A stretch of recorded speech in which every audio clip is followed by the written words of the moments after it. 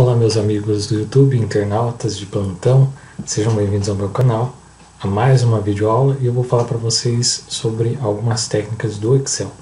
Estou fazendo uma série de vídeos com ferramentas de forma objetiva, tá? uma ferramenta, um assunto, um vídeo curto para falar de um assunto específico.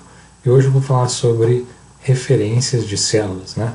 Então é algo considerado avançado porque precisa-se de referências para você trabalhar com fórmulas de forma mais fácil e eu convido você a entender, a conhecer como funcionam as células quando a gente fala é, referência em células e referência de intervalos e assim por diante.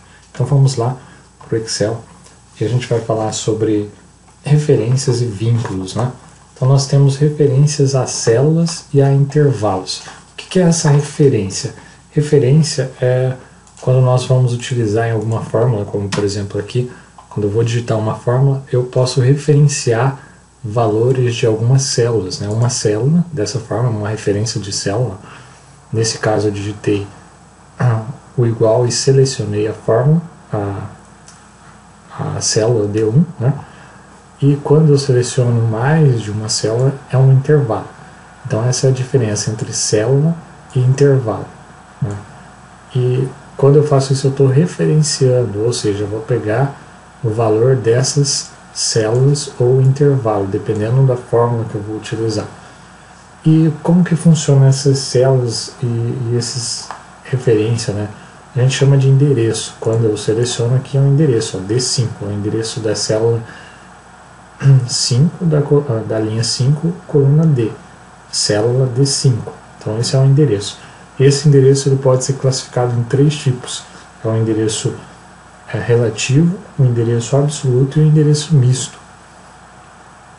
Esse endereço, por exemplo, é um endereço relativo, que eu estou apontando D5, e se eu arrastar depois essa célula, automaticamente o endereço vai mudar, D6, D7, D8, D9 e assim por diante. Ele está sendo relativo as células, conforme eu estou arrastando. Eu posso fazer um endereço absoluto quando eu faço da seguinte forma. Uh, eu utilizando um atalho F4, ele faz isso para mim, ou eu posso simplesmente digitar né, D5, que é o meu endereço, e, e dentro desse endereço eu posso colocar uh, um cifrão antes do número e antes da letra. Dessa forma, esse meu uh, endereço, essa minha referência vai ser absoluta. Então passa a ser absoluta, mesmo que eu arrastar, ele não vai se mover, vai continuar todos referenciando aquela posição de forma absoluta. Por isso que fala uh, endereço absoluto. E eu tenho um endereço misto, que é quando eu travo né, ou fixo metade da minha, do meu endereço. Por exemplo, aqui nós temos uh, linha e coluna, né, D5. O D se refere à coluna e o 5 se refere à linha. Quando eu faço o endereço absoluto, ele coloca um cifrão antes da coluna e um cifrão antes da linha. Dessa forma ele vai fixar, vai travar a fórmula na linha e na coluna. E se eu quiser um endereço misto, para quando eu arrastar essa célula, ele apenas fixar na coluna ou apenas fixar na linha, eu posso tirar o cifrão da onde eu quero, por exemplo. Nesse caso, ele vai permanecer fixo na linha, porque o cifrão está antes do número, que representa a linha. Então, se eu arrastar para a linha, ele vai continuar na posição 10. Se eu arrastar para a coluna, ele vai sair, ele vai se tornar relativo.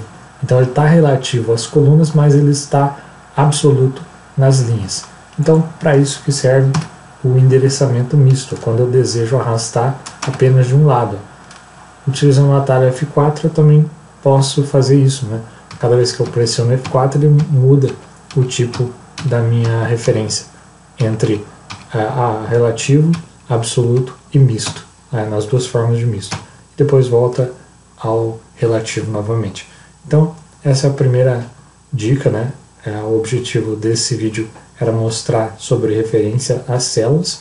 Eu posso estar fazendo referência é, selecionando, igual eu cliquei aqui, eu posso fazer digitando, é igual D5, e eu também posso fazer referências além de fazer na planilha, que eu estou, eu posso fazer referência a uma outra planilha. Então, quando eu for digitar a minha fórmula, eu posso ir na outra planilha e fazer uma referência. Então, essa referência ficou dessa forma. Planilha 2, que é o nome da planilha, uma exclamação e o endereço D5. Eu poderia fixar isso também, travar, né, deixando ele de forma absoluta. Então a mesma regra vale para isso. Essa é uma ferramenta simples, é uma maneira simples de trabalhar, mas que precisamos conhecer para que nossas fórmulas e tudo que a gente for fazer de forma avançada a gente consiga desenvolver bem. Um elemento básico e simples, esse era o objetivo da aula. Espero que vocês tenham gostado, espero que vocês aproveitem. Não deixe de curtir, de se inscrever no canal e acompanhar essa série de vídeos que eu vou estar fazendo com bastante soluções uh, de ferramenta de Excel voltada para o seu dia a dia, para o seu trabalho, ou seja, para o que você deseja fazer com o Excel. Abraços e até mais.